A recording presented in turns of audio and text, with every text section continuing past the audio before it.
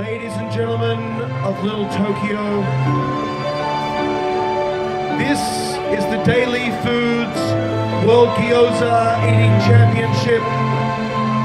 We are witnessing sporting mastery here today, but I want you to think about that most innocent and humble of things, the Day-Lee Foods Gyoza itself. It is not jealous. It is not judge. It is there for you in hours of victory. It is the perfect food. And today, Major League Eating celebrates that by doing the only thing we know how, which is eating way too much and very quickly.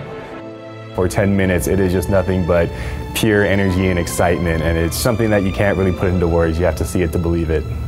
What the audience will see today is every one of the 17 men and women on that stage give their all. And I think just as a species and as a culture, that's something that we can be extraordinarily proud of.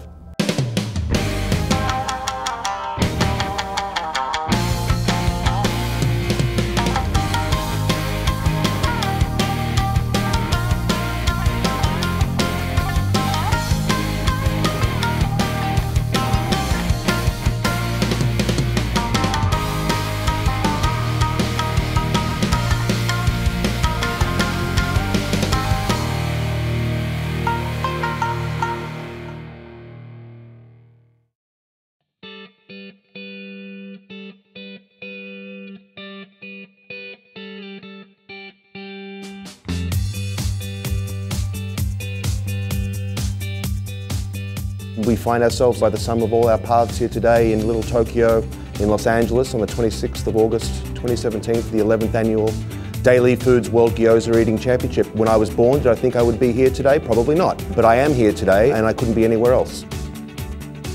Well, the story starts out actually way back in 2006. The then Nisei Week president Hayato Tamura, he saw the Nathan's hot dog eating contest and decided to see, could we do our own? That's when I get connected with Corey Hayashi. I got a call from Jason Uno from Day-Lee Foods asking to be a part of the contest, and from then on, we just started building it bigger and bigger every year. The Day-Lee Foods World Gyoza Eating Championship is a staple of the Major League Eating calendar. It's a marquee event on our annual slate of sanctioned eating championships. Very difficult to match the Nathan's hot dog contest because it doesn't really get more American than 4th of July eating hot dogs in New York. But if that's the Super Bowl, we always wanted to be All-Star Weekend. So we always want to make sure we have a great competition. All the competitors love to come down, and we've continued to draw one of the best fields outside of the Nathan's contest. This is a really good contest, the way it's run. The atmosphere is good, and the food's really good too. It draws the best talent. It's one of the most enthusiastic crowds. This is my fourth year here. I wouldn't miss it for the world. All in all, out of the top 10 eaters ranked in Major League Eating, we've got six competing. It's pretty special. Everyone is most excited about the, the, top two guys. Joey Chestnut, who is the greatest competitive eater to have ever walked the earth. I enjoy pushing the guy next to me to the point where he can't eat anymore. That's my goal. And Matt the Megas Toad Stonie, a YouTube sensation. Gyoza, this is their 11th year. Aside from the, the hot dog contest, I can't name another event that's been 11 years strong. So this is a really prestigious event. A lot of competitive eaters fly in from all over the country to just be part of the Gyoza event each year. Today's contestants, we have, I believe, six or seven of the world's top 10 eaters here. They've all got one thing on their mind, and that's victory.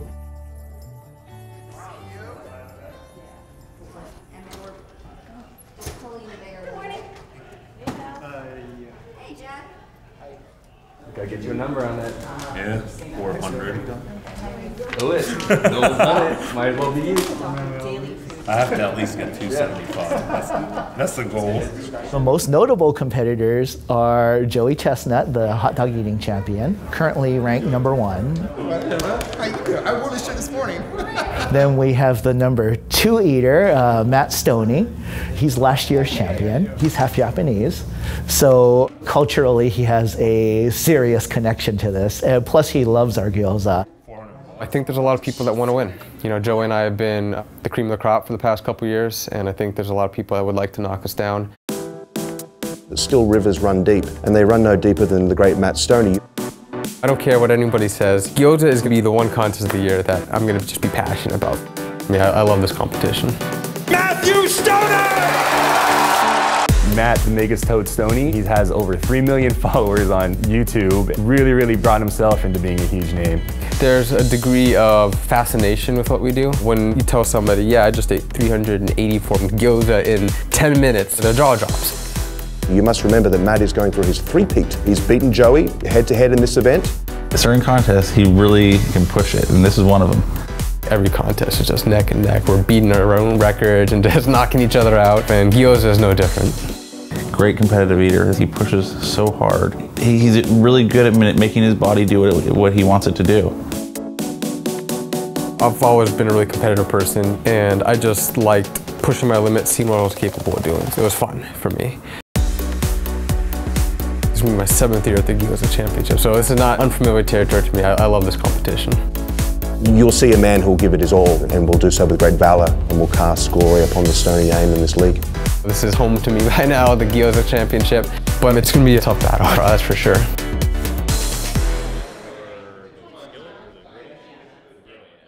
Uh, on the women's side, we have Miki Sudo coming. Her current eating rank is number five. I always tell people that I didn't choose competitive eating. Competitive eating chose me.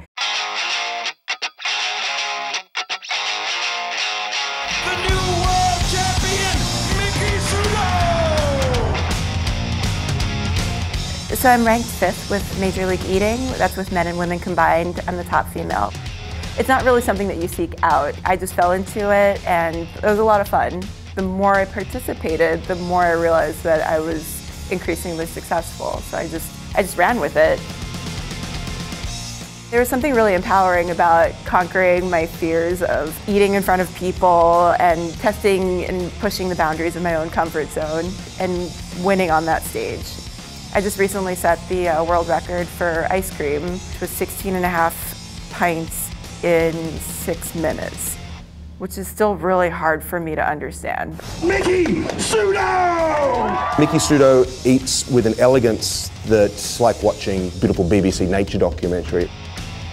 She's really good, and I've seen her beat Joey before. She's always difficult, hard, hard to beat. If you look at the top 10, there's really no pattern as to gender, age, weight, size, frame. There's no recipe for a successful competitive eater.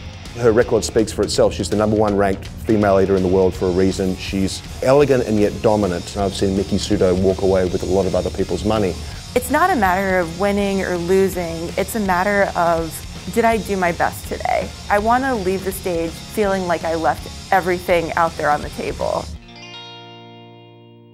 I'm competing against the best in the world. This contest really draws in the best that the circuit has to offer. You know, today I'm facing not just Joey, not just Stonie, but also Darron Breeden, who's been doing great as a rookie, Michelle Lesco, another really formidable female, Geoff Esper. I never underestimate anyone.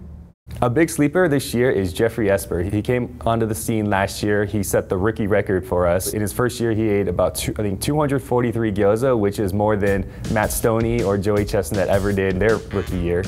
There's a new guy, Geoffrey Esper. This old man can eat. I'm a teacher. I got into competitive eating probably about two and a half, three years ago. And I thought that might be a good time to try one of the restaurant food challenge. So I tried that and I uh, tied for first. And that kind of got me hooked. And from there, I just kept going and going, and here I am. So Geoff Esper is just goes from strength to strength. I call him competence personified. He is a man of few words, but they carry great weight. He's in extraordinary physical shape. He's a, he's a power lifter, which I understand means lifting things um, powerfully. I used to do a, a lot of powerlifting. I used to compete. I really can't do that anymore because of injuries. So this is something I can compete at at a high level still. He's been on a tear this year. He won the Hooters wing eating contest, oh, he beat Joey head up, and he's definitely someone who's one to watch. To date, he's on track to, to continue his path to, if not the number one spot, then certainly the top three. He's currently ranked number four in the world. Last year was my first year. I, I got second place. I was, I was really, really happy with that actually. A really, really good goal for me would be break 300. I'd like to break 300, get in the 300 club. That would be a big win for me. He's got incredible power and incredible intelligence. In any sport, a combination of intelligence and power yields powerful intelligence. So 2 o'clock is when our undercards will begin. So make sure you're here at that time. Badlands, we got the stage for you, uh, 1:30. There will be some that are going to be requested to do a little bit. I think this year, outside of Joey Chestnut, there's really big competition. There's Geoffrey Esper and Darron Breeden, but my eyes will be on Chestnut and Joey because he's going to be the man to beat. He's got the world record currently. It's Joey Charles Chestnut! I love beating the heck out of these guys next to me. It's so addicting. Joey Chestnut. Joey Chestnut! He looks like he's on his way to his 10th title. Joey Chestnut is second only to Springsteen in our family's Wow. celebrity panther. There you go. Revered. Joey Chestnut will defend his title as the National Buffalo Wing Festival. Big Shrimp Cocktail Championship. Eating Championship! Nathan's Hot Dog Eating Contest. I'm never like satisfied. I always know I can do more. He is ruthless, relentless, he's a powerhouse. In his world, he's at the top of the ladder and everyone looks up. When I started doing this, he was the gold standard. Between Joey and myself, it's a back and forth, neck and neck rivalry. He's won the last two years. Hopefully I can snap his winning streak. It's a really weird feeling knowing that all these competitive eaters, I'm the target, and I just have to keep pushing.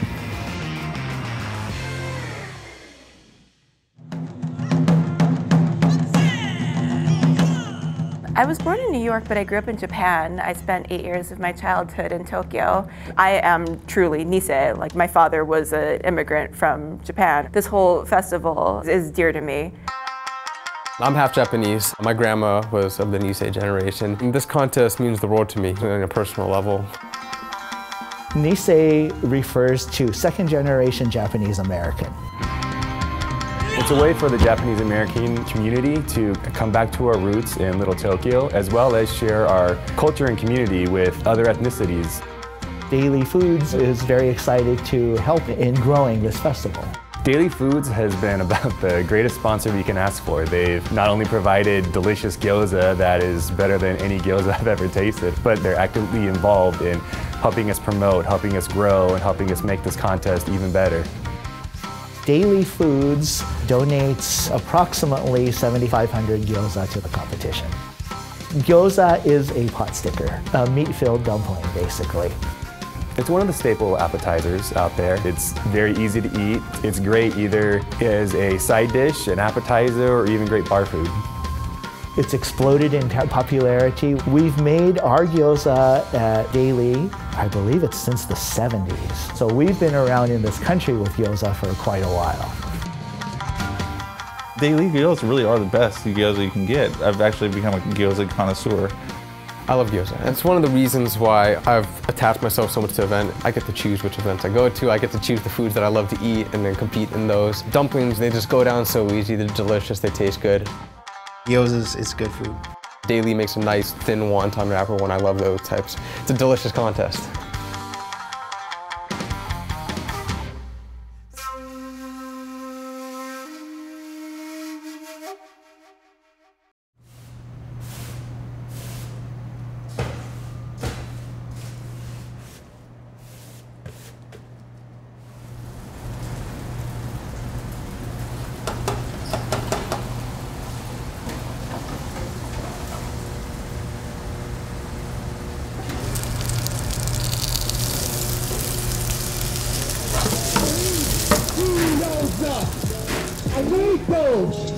Pot stickers that they need. Gotta have those pot stickers that need.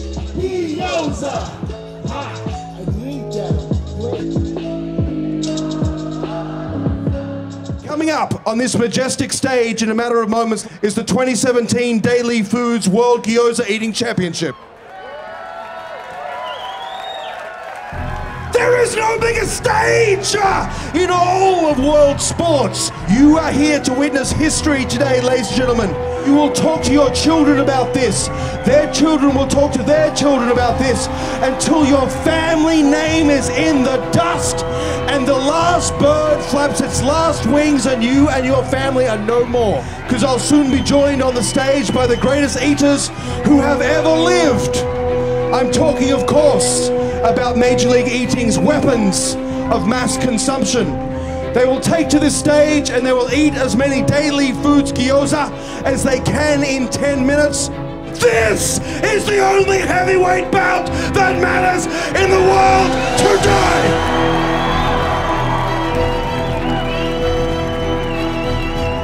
Will it be the number one ranked eater in the world, the man with 43 world records to his name, the reigning Nathan's hot dog eating champion of the world, and the man who in 2014 ate 384 gyoza in 10 minutes? Is it Joey Chestnut? It's gonna be a tight contest. Will it be that proud son of the Nisei generation going for his three-peat here today? Will it be the Megatoad, Matthew Stonie? When I go up on stage, I'm gonna be nervous, but I know what I'm capable of doing. I know I can go up there and give it my all. Will it be the number one ranked female eater in the world, the living embodiment of Japanese American beauty, the great Miki Sudo, ladies and gentlemen? I'm always the most nervous one to take the stage, I think. I'm always the one that's like panicking and shaking right before an event. Or will it be the great Geoffrey Esper? I'm just concentrating on what I'm doing, trying not to make any mistakes. It's a 10 minute all you can eat buffet. It's limited to one food and one food only, and that's Day-Lee Foods Gyoza. They're served 25 to a plate. Our eaters need to finish one plate before moving on to the next. It's just a big adrenaline rush. 10, 9, 8, 7, 6. When the clock starts, basically, it's go for it. Let's go!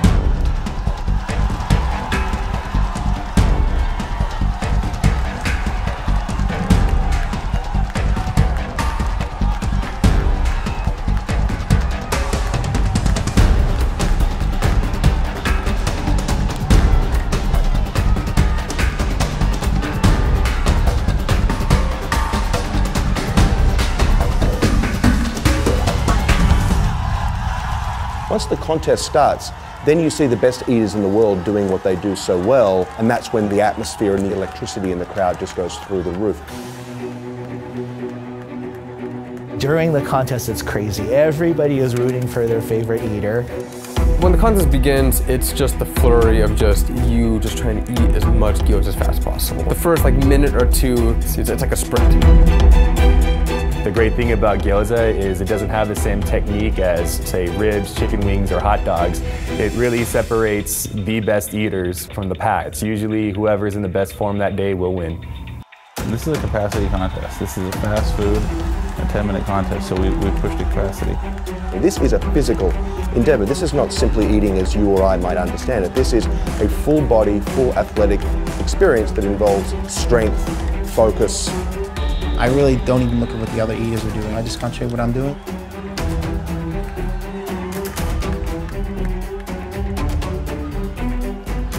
I'm around plate three. I'm starting to, trying to get into a rhythm where uh, I'm eating with my eyes closed. Stuffing my face, that's not really my approach, so I'm gonna have to rely on speed over force. And after like three, four, five minutes, you start to slow down. and It becomes more of like a grudge match with whoever's closest to. And you're watching them, whatever I can grab onto that just keep pushing me forward. Just eat more gyoza. You play the game so that we find out where the chips lie.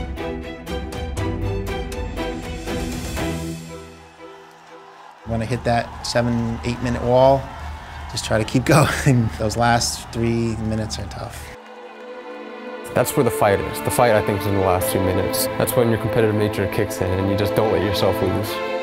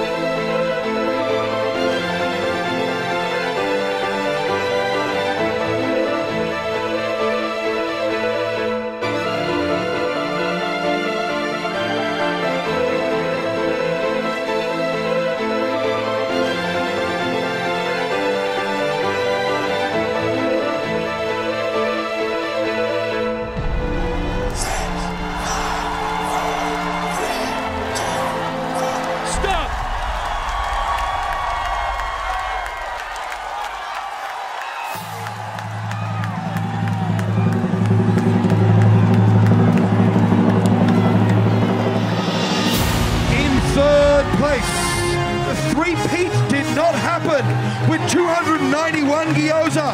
The great Matt Stonie! I want Esper here, and I want Chestnut here. One of these men ate 317 gyoza in 10 minutes. One of these men ate 377! Your winner of the 2017 World Gyoza Eating Championship with 377 Day-Lee Foods gyoza in 10 minutes. Joey Chestnut!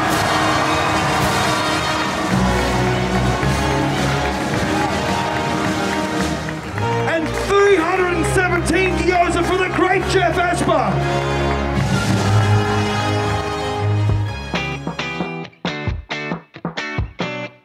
I thought Stonie was going to bring it harder today. I really did. I can't say I'm not disappointed, but um, Geoffrey Esper and uh, Joey Chestnut, they, they brought it they brought it today, and uh, third place, it's all right.